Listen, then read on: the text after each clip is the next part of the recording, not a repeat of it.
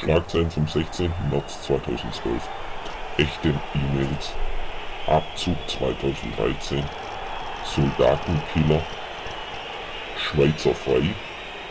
Pluni unter Feuer. Hässlich aber 15. Tödliche DVD. Röttgen und Lindner. Hanfplantage. Minijobs gegen DGB. Ultraleitabsturz. Google Ghost Wolfram Alpha. Sex und Alkohol. Alzheimer hemmen. McLaren vorne.